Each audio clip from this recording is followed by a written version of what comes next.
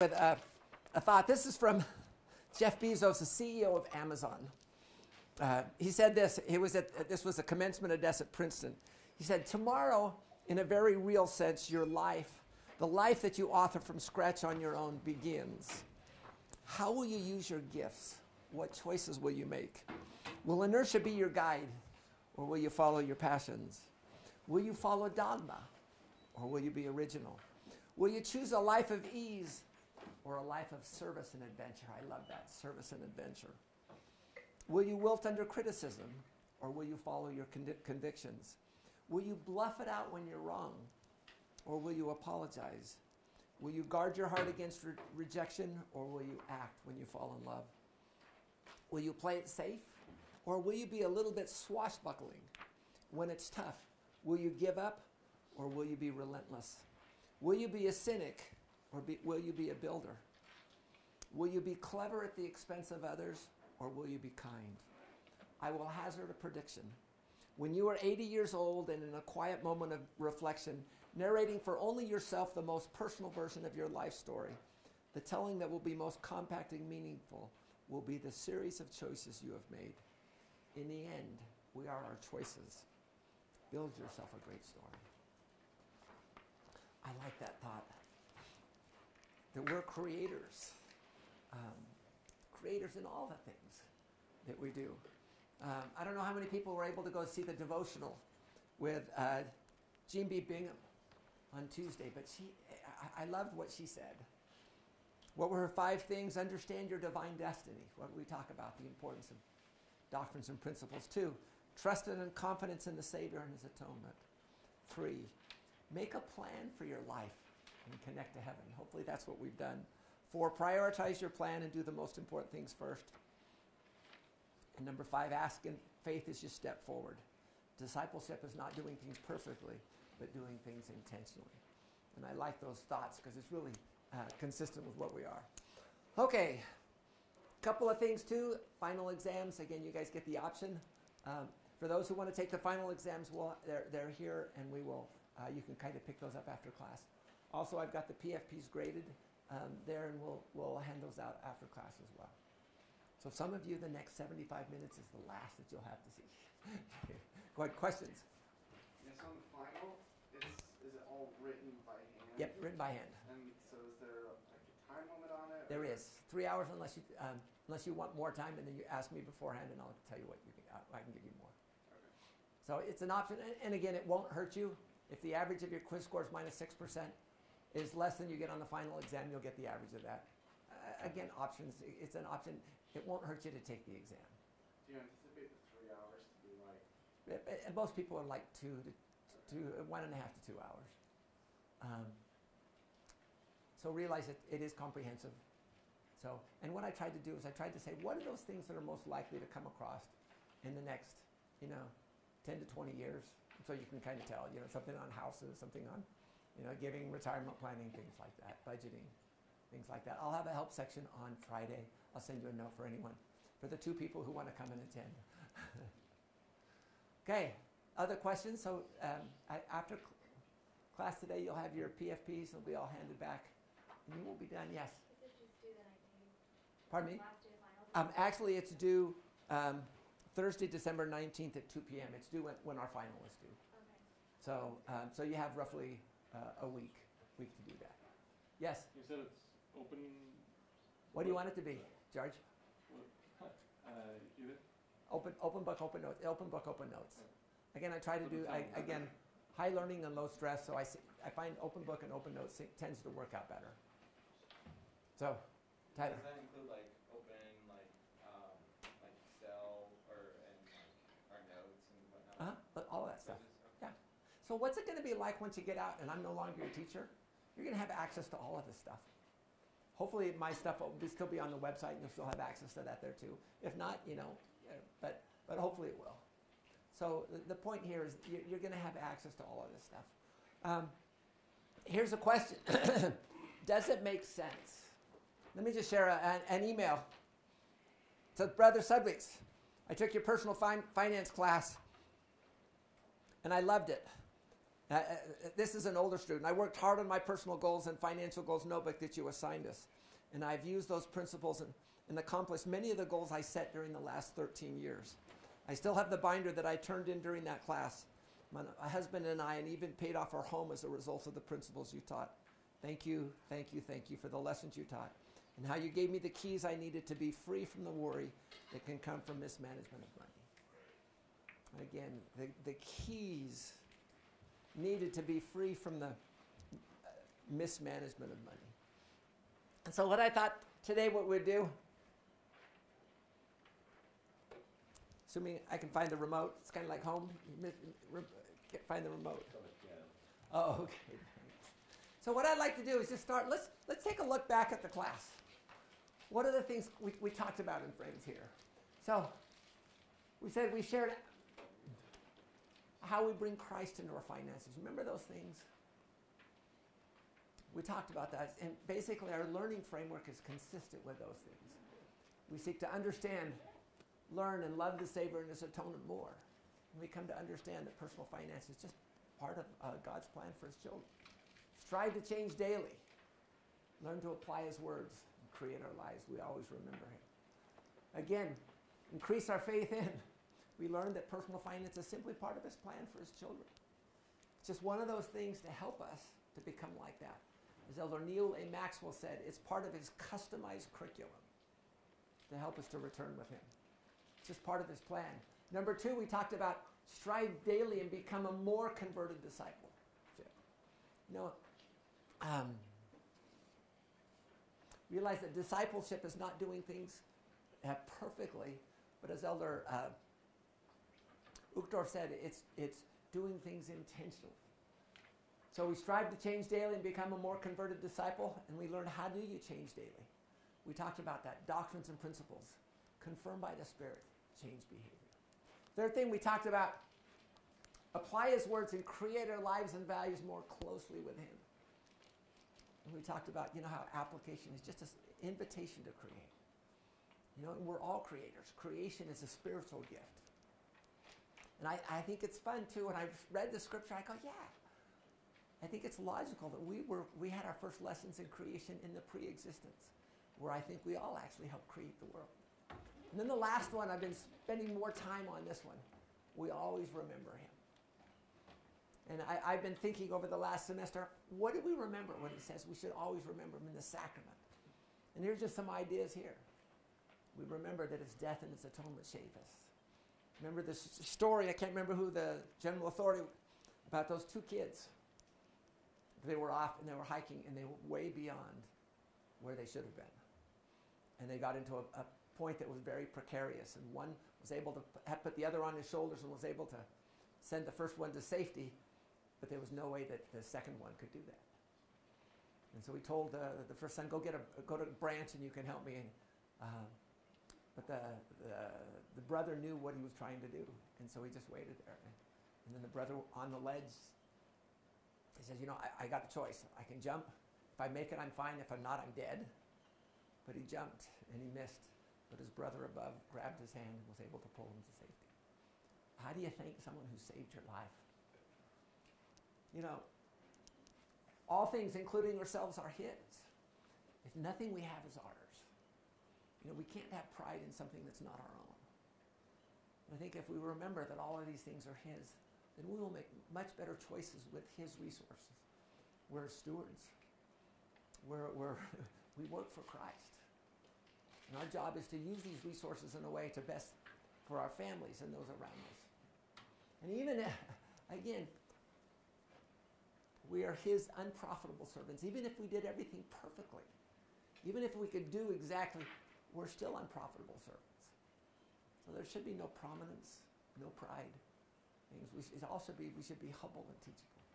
And then we emphasize that we need to be diligent as our conduct on the journey is important as our destination. So that's the thing we need to remember. It's daily conduct as we work back. Okay. So that was kind of the key that we started with. And the second thing we did is we talked about what's our learning framework. Our learning framework is a little bit different. Uh, personal finance is just part of his plan. but our framework was in it was doctrines, principles, and applications. And, and this was the process by Elder Bednar. Nathan, can I get you to read that just somehow? David Bednar taught, somehow we seem to be drawn to application as the primary way to fix things, to make life better. And far too often we emphasize application without the necessary understanding and divorce from the doctrinal content. Whatever the reason, emphasizing the application to the exclusion of fundamental doctrines and principles does not produce spir- spiritual power, protection, and direction. Appropriate applications are necessary but can never stand alone. What is needed is a balance among doctrines, principles, and application. The answers are always in the doctrines and principles. And the doctrines and principles need to be in us. So what we've tried to do is we've tried to teach it in a way that we will have that, produce that spiritual power, uh, protection, and direction that we need. Talked about those doctrines, principles, and application. Why is this framework important? Really, it's a simple framework. It asks three questions doctrines, principles, and applications. Why should we? And what we did in this class is we add learn to become better at personal finance. What are the principles on which how we blank learn to become better at personal finance are based? And how do we learn to become better? Again, doctrines, principles, applications. What's wise and how? And it makes such an important difference. And we can use this not only in personal finance, you can do, use it in asset management, you can use it in accounting, you can use it in any area of our lives. And we just happen to apply it here in personal finance. We taught doctrines and principles confirmed by the Spirit change behavior. And then what we did is in each area is we, we developed what are the doctrines and principles.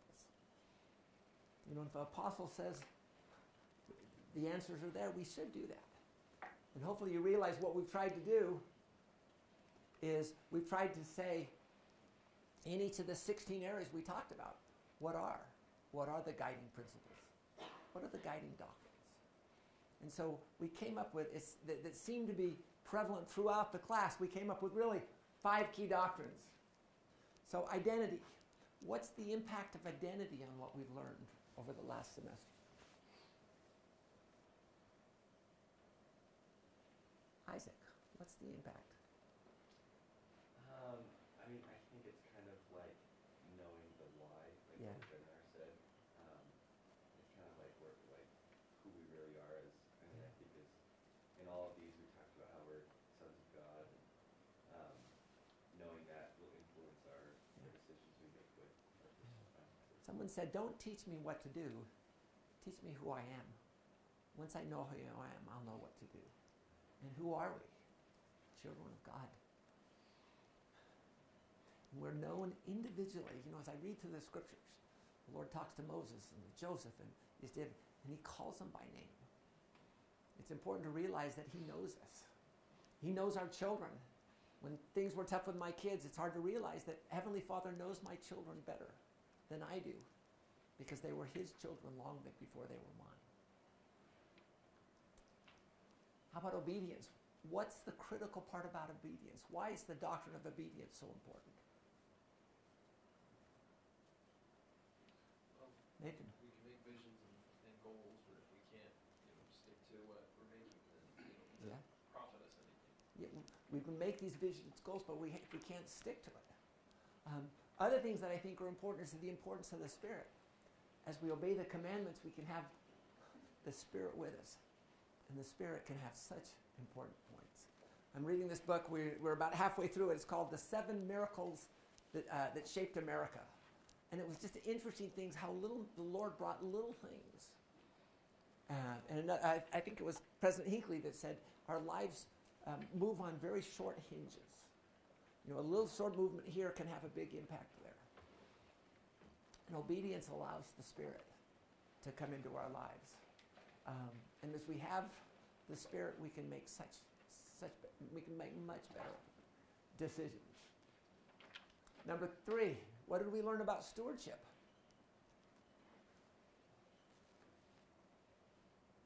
Michael, what have you learned about stewardship over the semester?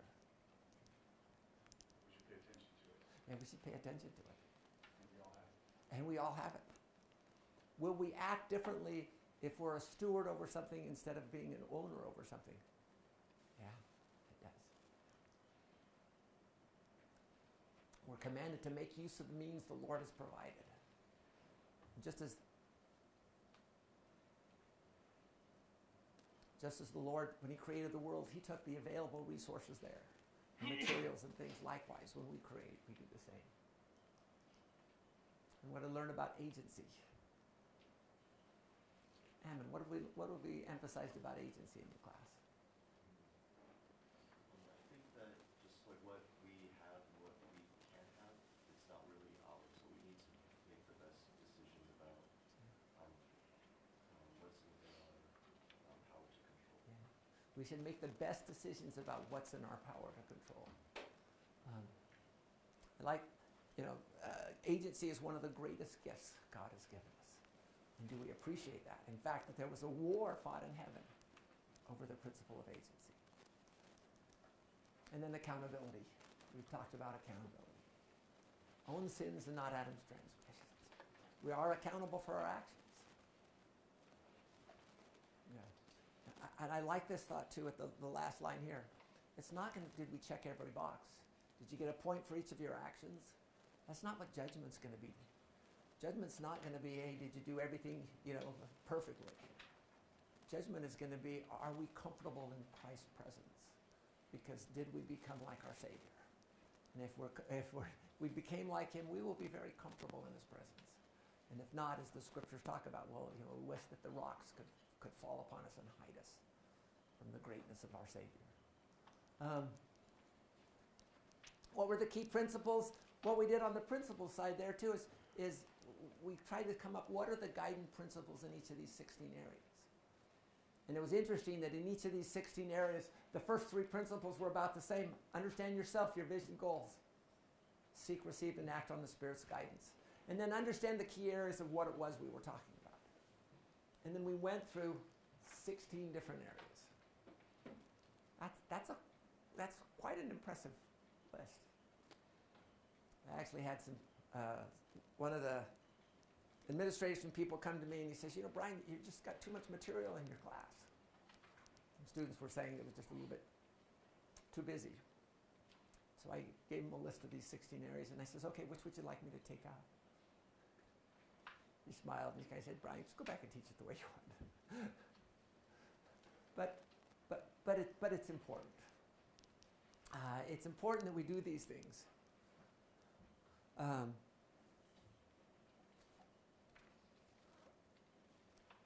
and then we talked about key areas. Application is just an invitation. Ethan, sorry. Oh, sorry, I was. Sorry, I was just reading. Okay. Create our lives. And that's what we want to do. We want to create it more with Him. We're all creators. We shared the process. In fact, you all created your personal financial plan. You guys, you guys have all done what uh, Sister Bingham said you should do. You should plan your life, prioritize your goals. And then the next step is you need to walk forward with faith.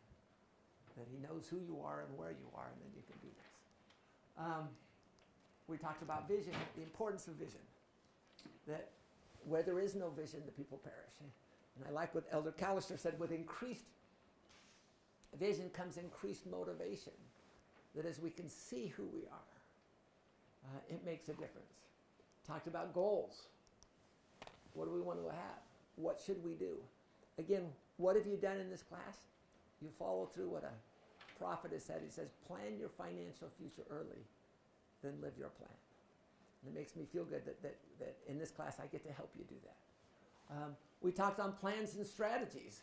Again, what I had to do in this class, if I'm truly going to save you that million bucks, I had to give you detailed, concrete plans and strategies for each of the 16 different areas. At least to give you ideas. You don't have to use these plans and strategies, but to give you ideas and kind of uh, just to share a few things, and hopefully we've been successful there. And then we talked about constraints. One of the biggest joys about being adults is you have to be able to plan for what's coming. And part of that planning is what can get in the way? What can cause you to not be, to lose your perspective? Again, Satan tries to distract us. He distorts the truth. Um, and so what, what do we do to help us to maintain that vision? What are the problems you will likely encounter and how will you solve them so they don't hinder your progress? And I know in my life, I've, I've had to put, make little commandments for myself to keep me in line. I turn my phone off at 9 o'clock at night just because too much going on. Certain other things that I do just to help me. So I'll make sure I won't, I, I, those constraints won't be a major one. And then accountability. How will you get others to help? When you're single, it's tough, but mom and dad can help. When you're married, you've got a spouse. When you have kids, kids are probably the biggest accountability. You want to you want to work on a goal, you tell your kids. I had a goal that I w- wouldn't watch TV except when Anne was there, and so when she was she would be traveling. Remember one time I was just so bored, I just turned it on. One of my kids came in, Dad, is this how you how you not watch TV? so I went, turned it off, and I haven't turned it on since. Except, and you know, I, maybe it's because I'm an addict. I like things like 24 and Emergence and some of these other some of these other ones here too. Um, but um, it, it's just important that we, we, we work this, uh, do this framework. And then the question is, is this learning framework important? So it's, it's a different learning framework. And um, I think it is impo- important because what does it do? It does these six things. It helps us ask the right questions. Someone said that you know you shouldn't get a degree for answering the questions. You should get a degree for asking the right ones.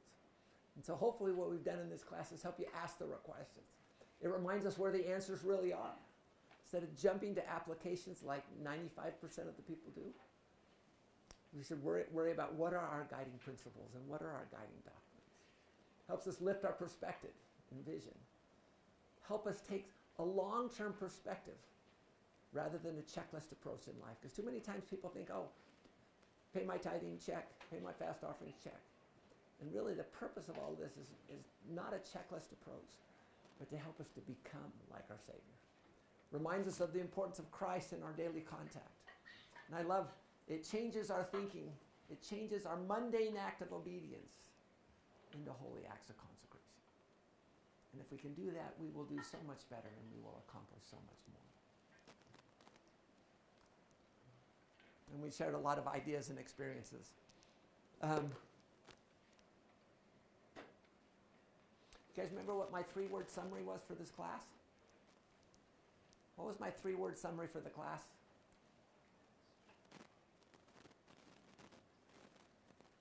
You follow this three word summary, it's everything that I want you to do in this class. Okay, Tyler. Down this is it, uh, becoming wise stewards. Uh, Close. Close. Know your vision. It was this one. Know yourself. Life is good. If you follow this, you will you will accomplish all that you need. Again, just simple things. You know, in fact, uh, when we travel, I, I always say life is good, life is good. In fact, the students kind of tease me about it because I, I say it so much. And I'm trying to back off, you know, a little bit. But again, these are the things that we want you to do. Love the Lord and put and pay Him first. Invest wisely. Find happiness in your spouse and family. Enjoy the journey.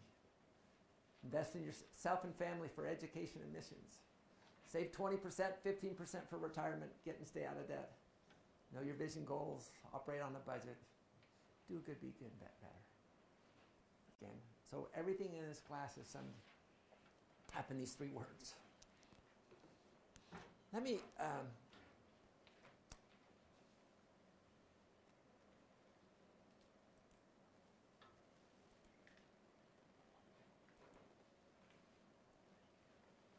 Let me just share this song. It came out last year, I think. And I really like it. I put the words off to the left there so you can see it.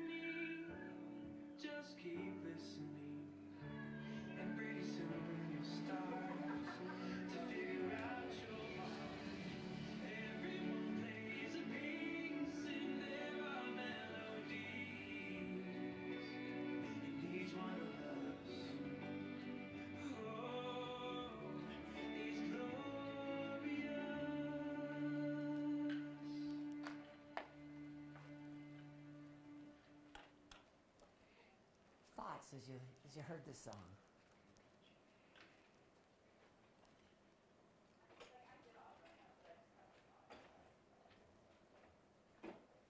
Ben, what were you thinking about as this music was playing? Um, just thinking there's a lot of good in the world and um, want to partake of it and Yeah. help others. A lot of good in the world. Other thoughts? I know one of the things that I got, I like is really everyone plays it, and there are melodies in each one of us. Oh, it's glorious. My wife and I, uh, talent skips generations, so our kids got the talent, but we still sing in the choir. Um, my wife's a lot better than I am, but, but I, I realize how important the different parts in the choir are. And the choir would not be the same without, without each one of us. Um, other, other thoughts that come through? Michael, The path that we're on is orchestrated by a higher power. the path that we're on is orchestrated by a higher power. And the more that we allow Him to orchestrate it, the better off we'll be. And truly, it's so amazing what we're all creating. You realize it's amazing what you're creating and what you're doing. So I, I, I like this. Uh, I like this song because it just emphasizes that fact. Um,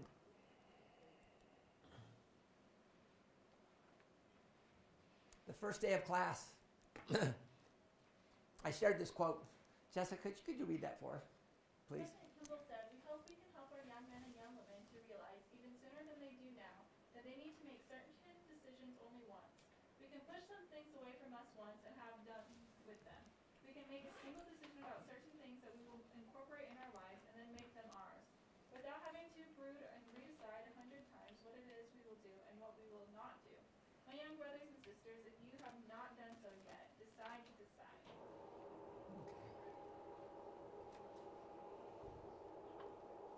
So my question is,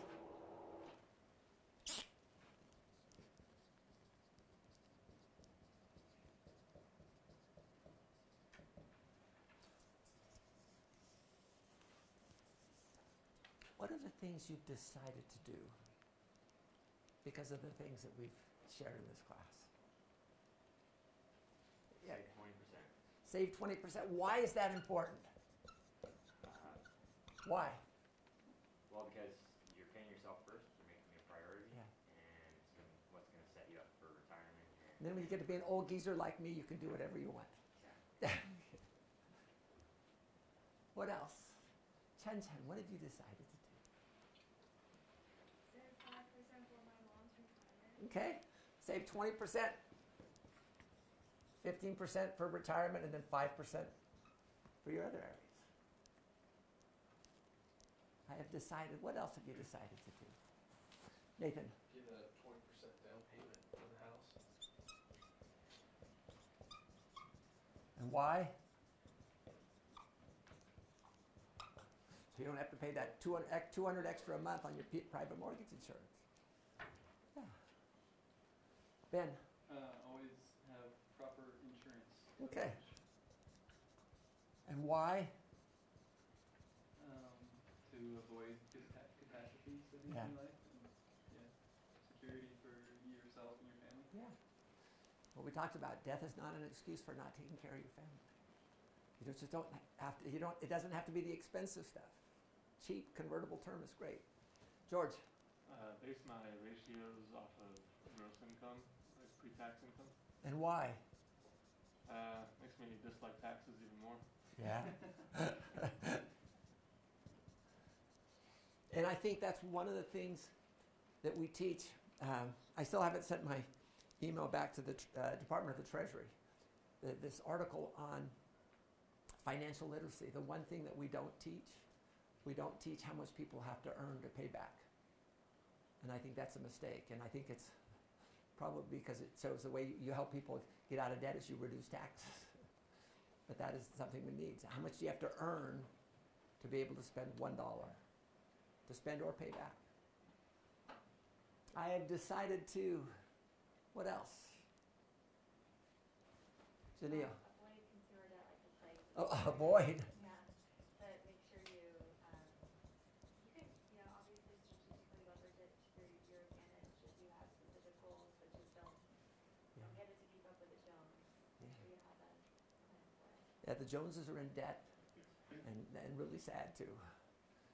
Can we buy, borrow money we don't have to buy things we don't need to impress people who don't care?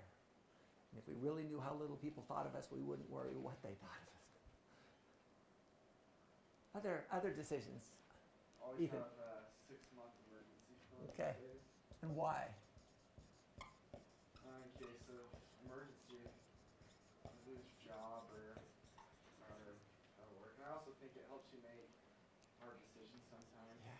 We talked about like in ethics classes, if you're, if you have an emergency fund, then you can maybe afford to leave a job for a little bit or something like that if you need to. My my brother was working in Texas. Graduated here, took a job on a, a construction job down there in Texas. Uh, the first time the job had ever come in under budget and on time. They had never done it for. And his boss came to him and said, um, "Okay, I want you to, to tell the I, I want one of these sliding glass doors. Tell the, the supplier they shorted you one." He said, "No, I won't do it." He says, "You'll do it or you lose your job." And what did he do? He says, I won't do it. And even though, again, the first time the company had been under budget and on time, he still lost his job. Of course, he got a much better job when he came back here, too. But yeah, having that emergency fund is really critical. And it also converts emergencies into inconveniences because it's just painful. Isaac.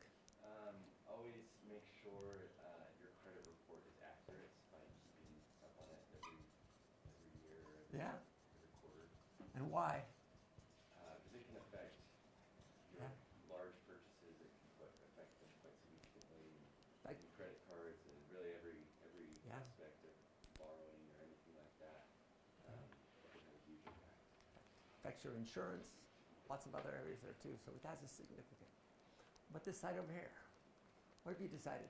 Um, to give a certain percentage of my income to, to, to give it to charity. And why? Um, but I mean, it's, cause it's, I guess it connects to the principle that is, we we are stewards, I mean, Yeah. the money is ours, it's given to us by God, and we need to help each other. Yeah, we need to help his children. And I really agree, you know, little things, even giving blood, I walk out of there and I feel, you know what, I've done a good, good job. And even when you just give little things. Um, but realize serving in the temple is giving, serving in your callings is giving, being a good parent is giving, all of these things. And hopefully you feel good for the work, for the things that you do. Let's take a couple more, one more. Yeah, Half my mortgage by forty if I can, okay. forty-five. And why? I did the math on how much I'm actually paying in interest over the life of the loan, and I'm not gonna pay that much. and you're not going to pay that much. You know, we get to choose. I like these. I, I like the decisions that you've made. And, and hopefully we've been able to support these. I'm sure there's lots of other ones you could do. Um,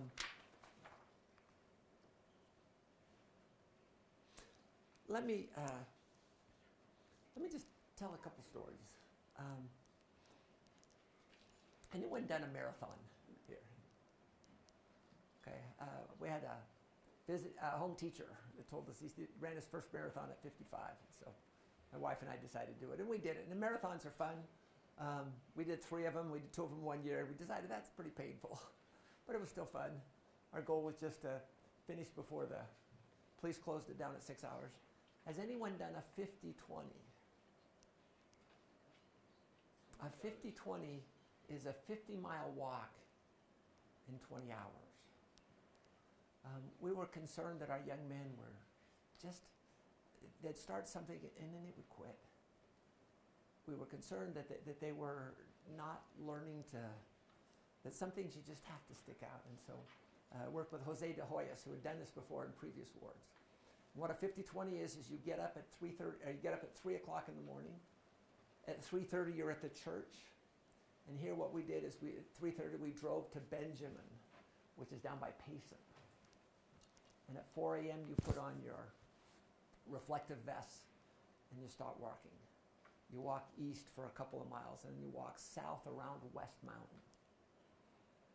And then at 10 miles, what they do is they bring out the scout trailer and you've got the, the, the oatmeal and the, you know, egg McMuffin and whatever people, and some people would just grab it as they were walking and eat it along the way. Some would stop. And then you just keep walking around. So you're on the side of Utah Lake. You get into all these little tiny towns that have 300 and 400 people there. And at mile 25, what they do is they bring out the scout stuff, and it's hot dogs and hamburgers and soda, anything else you can drink. And again, some people, what they'll do is they'll grab it and just eat it while they walk, and other people will sit and talk. And then what happens is you start hitting the wall. Anyone who's done a marathon, your wall is about 22 miles. Uh, around uh, 50-20, the wall's at, at 40 miles. And it's pretty good. So right now it's getting to be about 5 o'clock at night. and so what do we do is we bring in the angels, which are the parents of these young men. And the parents walk with them the last 10 miles. And so they walk, in, we come into Springville where the uh, Burger King used to be. Then we go south on Industrial Parkway. We, we'd make a detour around the Stofers there, just so we keep the, the youth off of that. And then we come and we turn on 9th East, and we ended up at Timpview High School. And it's, it's not an easy thing. Um, so, first time we did it, we started with, uh, I think, 13 kids, and about seven made it. Uh, later on, we did it with more, and so we did it uh, about we did it about seven years. Things. And what did I learn from the 50-20? 50-20, you just have to start walking. The first time I did it, I we were not prepared. We didn't know what we were getting into. We had no clue. remember having blisters about that big on my feet, and I remember just praying, as Heavenly Father, help me to figure out what's going on. I can't do this. And I, you know, if, if the leaders start giving up, then what, what are the youth going to do? And I just got the impression just to walk on the side, walk on the gravel. And I could do that. Uh, about the third time, my wife said, I want to do it with you. And so she did it with us too, and it is painful. Um, she says, you know, it wasn't bad after my feet start hurting, so she had the same problems with blisters and things like that, and she just walked through it. But she said, she says, I'm never doing that again, and she's been true to her word. She only did it that one time. Um, I have, first time we, we started, like I said, was young men. Second year we had like 19 or 20. Third year the young women decided to come along with us, and so we had to make some adjustments. Uh, you also have some additional angels there, and these are the people that drive by in their cars. And so on the 50-20, what you don't want to do is you don't want to be carrying much.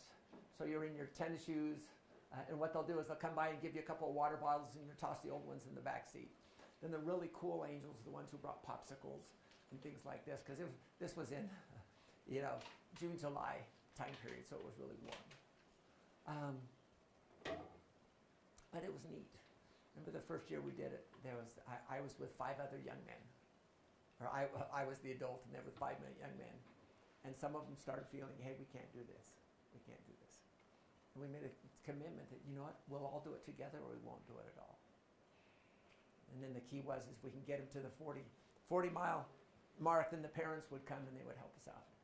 Um, the youngest of my kids to do it uh, was nine.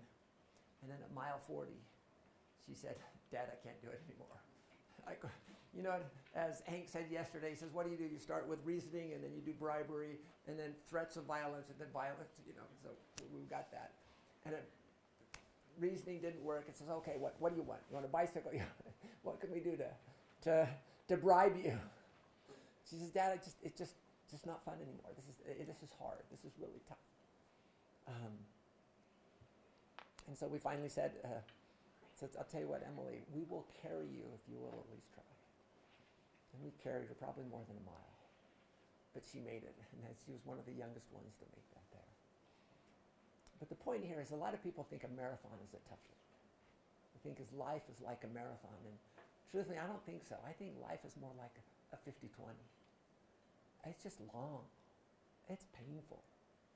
It's, it, it's tough. You come across, you know, you're, you're in those little places over there on Utah Lake, and there's a lot of roadkill. And there are animals and there are snakes. It's just, it's just really interesting. Um, but the key is the one, those who make it together work together. And, and they're trying to, trying to get help. How does that relate to personal finance? And that is, I think we need to, just to keep walking. Let me just share some experiences with uh, myself. I, Um, did an undergraduate in Mandarin Chinese and then I did an MBA. The only reason I got my internship in my MBA is because of nepotism. My cousin said Bryan's having a problem getting his internship. He turned to his boss and said, "Hey, any chance we could help him?" And he goes, "Yeah, sure. Send him over. He can't screw things up too badly." So the only thing, because all I'd ever done was swung a hammer. All I'd ever done was just you know, be a carpenter. Um, sent out 34 letters of resumes. I got 32 rejection notices back, and two of them just didn't respond. Um, I was two hours from getting on a plane to go to the Dallas Fort Worth area when the, the company that I'd done the internship with came back and said they made me an offer. And considering it was my only offer, I was very glad for it. I took it. Um, met someone, I got engaged. She had only been a member for four months, and so we agreed that we'll wait eight months. And I was excited, life was good.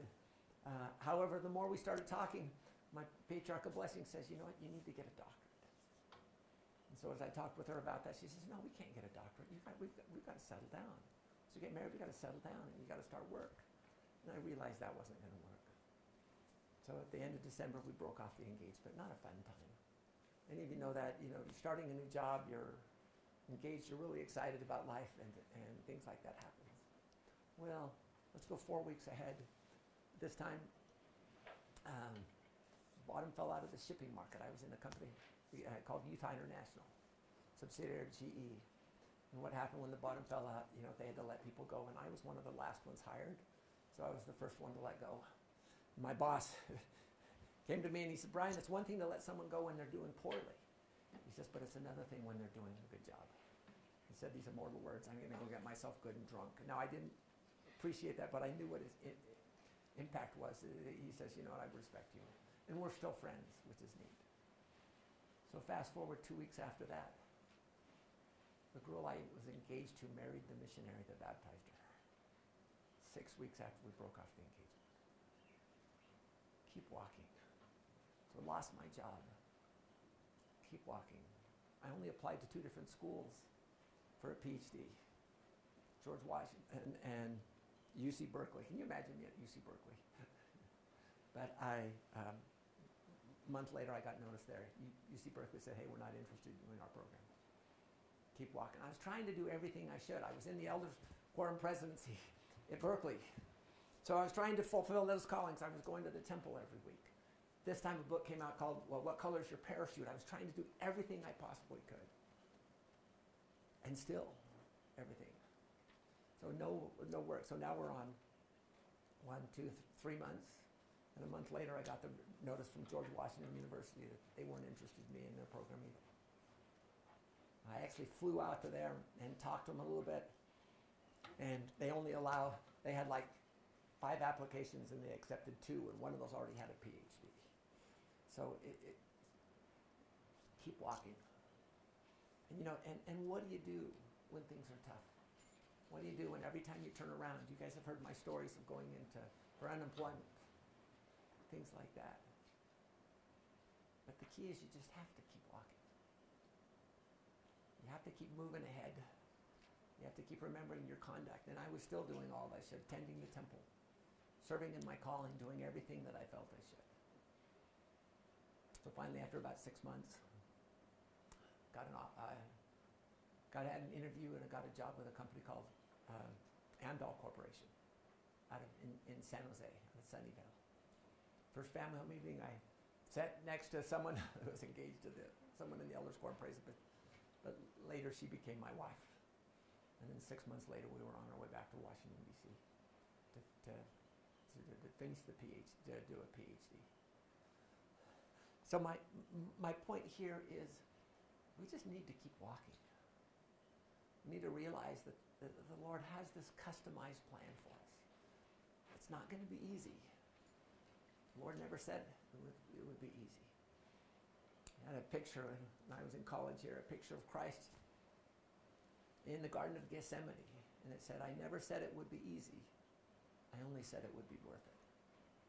And you got to realize that that's the way it is.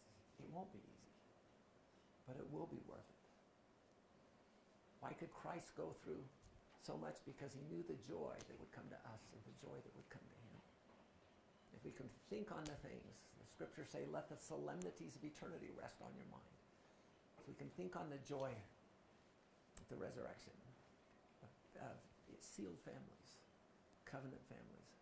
We'll make so much better decisions. And it will be so much easier to do. Let me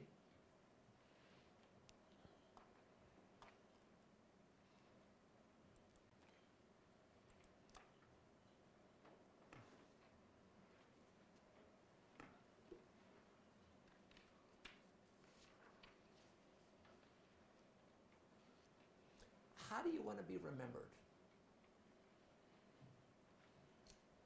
So one of the important things is to think, how do you want to be remembered? Uh, my dad was getting old. And uh, we didn't know it then, but I mean, he was going downhill pretty quick. Um, and all of a sudden, I got this idea. It says, you need to write a poem for your dad. And I thought, that's strange. But the impression kept going. And, and I'm not someone who writes poems. Uh, you know, I, I did when my, when my grandfather passed away and I was on my mission. I wrote a poem because that's, I, I, it was just, he was my namesake. I'd spent a ton of time with him. And it was really hard for me, and so I wrote this poem here. And so the other times we've written poems is when, um, you know, we had a stillborn in the family, things like that. But I just felt this impression. And then uh, my dad passed away on Thursday and Friday night, and so we were just sitting in bed. It was about 10 o'clock at night, and I just told my wife, I says, you know, I wrote this poem for Dad. She goes, sing it to me. it just kind of shocked me. You know how sometimes you're really nervous, something that you don't normally do. Well, uh, I don't know if any of you know the song "The Leader of the Band" by Dan Fogelberg. Um,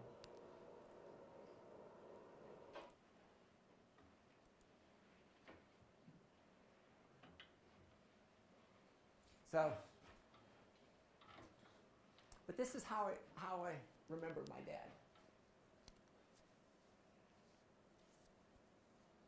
And um, I thought it was just interesting. What are the things that I remember from my dad, and what are the things that we want to be remembered by? Quiet child, the fifth of eight, a carpenter's third son. How to make work fun. Um, honest man of labor became a soldier. And many of your parents were the same way, served in World War II. Um, uh, he was actually a, uh, taught uh, student pilots how to fly. He was in charge of one of the Thunderbird fields in Arizona. In fact, he was once in a flight with a student pilot, and a plane came up underneath. They crashed, and the people in the other plane were killed, and he was able to bring the plane land the plane. The amazing thing is the people, I've, I've seen pictures of that plane and people say, there's no way you should have been able to fly that plane. So I believe my dad, uh, the, the Spirit works on small things that helps us. Taught his children discipline. Well, of course, the leader of our family's tired and his eyes are growing old. But his blood runs through our family and his heart is in my soul. This man has tried his whole life through to serve his God above. We're just a living legacy to the power of his love. Notice that the H is capitalized there. It's not my dad's love that's where the legacy. It's the power of his love. It's the power of our Savior Jesus Christ. Taught his children discipline, the things that we should do. Shared with us his love of God and how we should be true. Took his trial standing up. My mom passed away at age 53. I have an older brother who was wounded in Vietnam. We used to see those yellow taxi cabs coming because they'd bring the Telexes, and we used to hate to see them come. They came once on our street, and um, when Kenny Pedersen died, and then when they came for us, they, they, said, you know, we don't know if he's going to live or die. But they were things. Uh, but he took his trial standing up, ever giving, and shared with us his favorite friend. What do I remember? The example, the stories that he shared, the time remember my dad was he was the bishop. Um, he was also uh, in our little town of Brentwood. Uh, the person who got the most votes was was the mayor, but he got the most votes, but he didn't want to be the mayor, so so he was just on the city council. Remember, you know, the time that he spent. My mom would get the trailer ready, and we'd go pick up my dad at the office. at about 5 o'clock on Friday, and then we'd go up camping. But the time. Thank you for your kindness in the times when you got cuffed. And Grandpa, we don't think we've said you know enough. So when we sang this, as usual, we, my wife and I don't have the voices, so we had to, the kids sing the, the, uh, the verses and we sang the chorus. But, but realize, so how do you want to be remembered? And once you do that, you will make much better decisions as to how you will act in this life and the things that you want to do. So, getting close to the end. What are the things that wise stewards know? If I can take everything that I've learned and the things that we've taught in this class, what are the, the 10 things that wise stewards know? Number one, know who they are and why. They understand that they're children of God. And you know what? If they can do four things, as long as what you're doing is consistent with one of these four things here, you're doing the right way. Number two, wise stewards know. They recognize their stewardship. We're all stewards. So, what do wise stewards know? They know nothing is their own. And so they use that stewardship wisely. Number three, they create. They understand that creation is a spiritual gift. And so, what do they do? They can do all things with His help. We set goals, develop plans, determine constraints to accomplish a vision, and we can accomplish anything.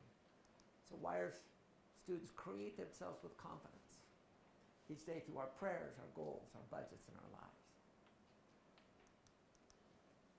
Their priors in order. It's not it's not he who stands tallest when he stands on his wallets. It's not she who dies with the most clothes wins. It really is. You know, what are the true riches? You know, behold, he who has eternal life is rich. And are we really moving in that direction? Plan their future early and live their plans. Again, it makes me feel good when I when Sister Bingham says, you know, make a plan for your life. And then prioritize your plan. So what we've tried to do in this class is really help you to do that. So I think you guys, if you guys will follow this plan, it will be a good guide to help you to take you where you want to be. Wise stewards seek God's help in all aspects of their lives, in each of these areas. Six, money can't buy joy or happiness, but money can do a lot of things. It can share, it can buy security. So what you do is you use money for what it's good for, is to buy security for you and your family. And then where do you find joy? As we've heard from the conference, joy and happiness doesn't come from your circumstances, it comes from your focus. So we find joy in our Savior, find joy in our families and service to others. Six, understand assets and liabilities. Assets are easy, but there's two types of assets income consuming and income generating assets. Doesn't mean that you can't have income consuming assets. I had two grandkids on the razor and we were up in the mountains. And we stopped and we went hiking and it was just really fun. But it just means that you just don't have all income consuming assets. Liabilities are things you borrow for. So what do we do? We maximize income consuming assets. We have fun with our or uh, income generating assets. We have fun with our income consuming assets with our families. And then we eliminate liabilities. And that way we can enjoy these. Understand income. Again, different types of income. Earned income is income from your job. Passive income mainly from your business. Portfolio income from your portfolios. Ideally, what we want wise stewards know, and what I hope for each of you is by the time you retire, your portfolio and your passive income is enough and it's making you more. So while you're serving missions and while you're helping others, you're still making significant amounts. Wise stewards know they're responsible. Robert, can I get you to read that for me, please? You are given two great gifts uh, your mind and your time. It is up to you to do what you please with both. With each dollar bill that enters your hand, you and only you have the power to determine your destiny. Spend it foolishly and choose to be spend it on liabilities and join the middle class. Invest it in your mind and learn how to acquire assets, and you'll be choosing wealth as your goal and your future. The choice is yours and only yours. Every day, with every dollar, you decide to be rich, poor, or middle class. So what do wise stewards do? They choose to be responsible. And then the last one. Wise stewards remember. Know, we always, we always say we always remember him. But what do we remember? You know, it's just not the things we must know, but it's the thing we must do. When I was a kid, I'm a child of God, said, Teach me all that I must know. And later on, they went and changed it. Teach me all that I must do. Because that's what, what's important. Number one, scriptures make us wise if we learn from them and obey the commandments. It's not enough to have scriptures. What do they say? He who won't read and he who can't read are in the same boat. We need to be studying and pondering and praying. What's, what's wisdom? Keeping the commandments. I used to think my dad was one of the smartest people around. Now as I get older, I realize it was just because he did, did what he was supposed to do. He was honest, he had integrity. He kept the commandments. Savior makes us holy if we repent and take advantage of it. It's not enough to have a Savior. We have to take advantage of it. Remind me of Heller's, uh, Keller's comments. She goes, It's sad for the people who see and yet have no vision. You know, make sure that we, we have the vision. Third, storms make us strong if we learn the lessons God's want us to learn. We're all in storms. My guess is this class has been a storm for some of you.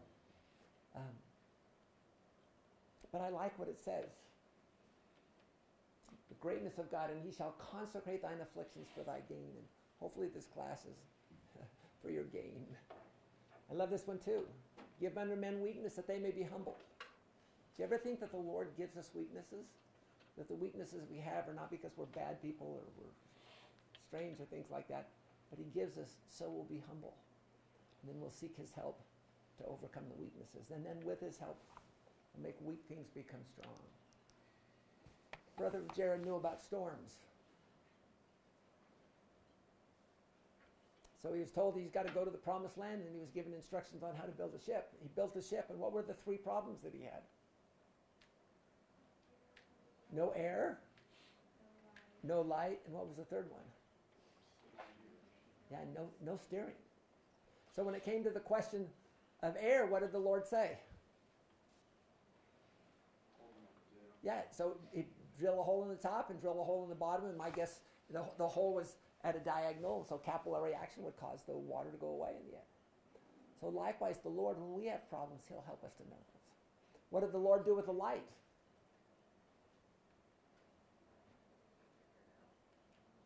He said, figure it out for yourself. A lot of times the problems, that's the problem. And so what the brother of Jared, Jared do? Molten the stones, and the Lord touched it. Likewise, the Lord will touch our stones as well. And then what did the Lord say about navigation? Said I'll take care of it. I will take care of it. And what did he do? He sent the storms.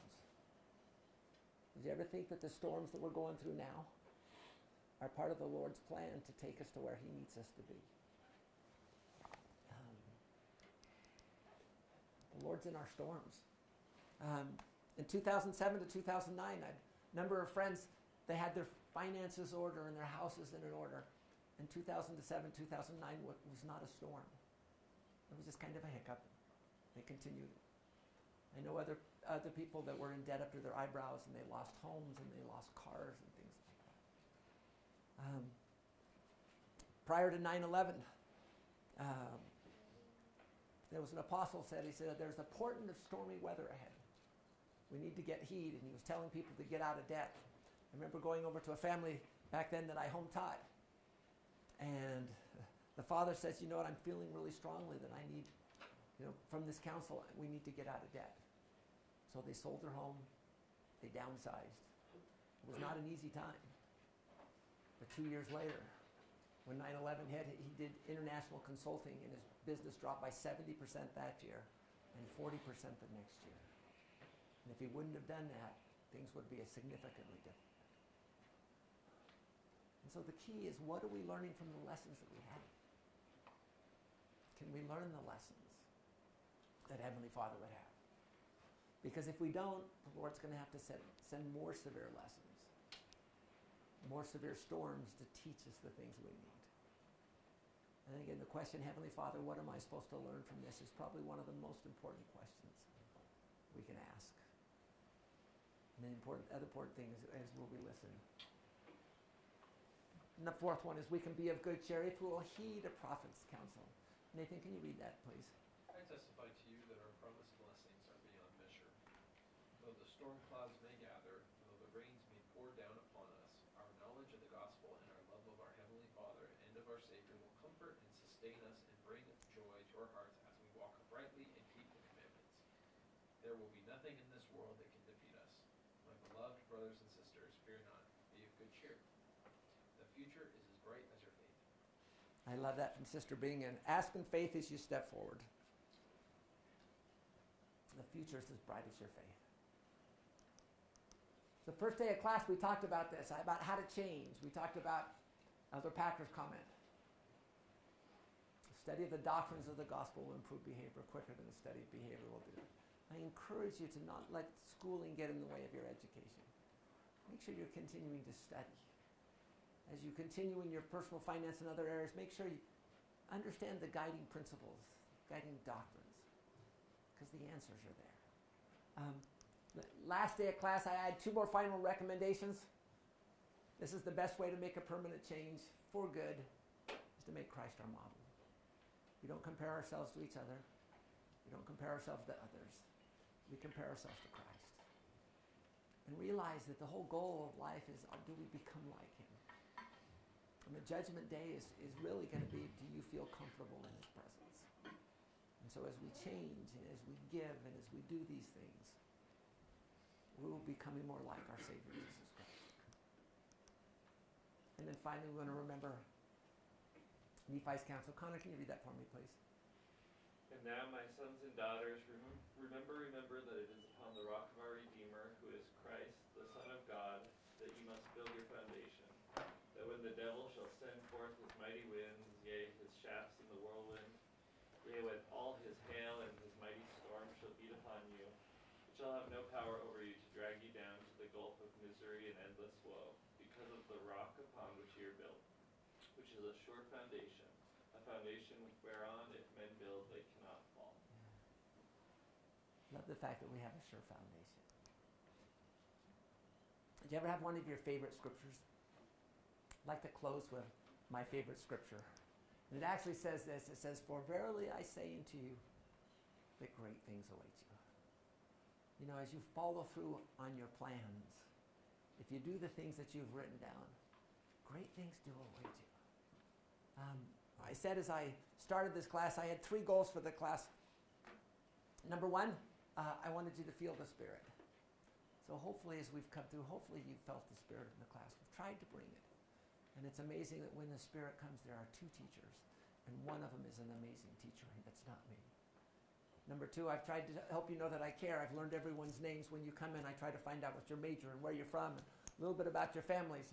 And I appreciate the, the, the neat things that I get to know. The good news is when you get ready, if you need uh, letters of recommendation or things like that, it makes, it makes it so much easier for me because I know who you are. And I've tried. Uh, I still make, still make mistakes now and then. I still get Connor and Hugh mixed up, but, but I, we've tried. So I hope you know that I care. And number three, I've tried to teach you things that will save you a million bucks over your lifetime. And that means in each of these 16 years, I've tried to come up with concrete, 16 areas, discrete, different ideas to help you to, to save that. Now, uh, kind of in conclusion, I just wanted to say thanks for allowing me to come. This is really fun. You know, uh, retiring next year is going to be hard because I'm giving up something that's really important. But I'm I'm gaining something that's even more important, which is which is serving the Lord on a mission next year. So we're excited for that. But I just want you to know that the gospel is true. That He has all the answers. And as we strive, He knows us by name and knows us better than we know ourselves.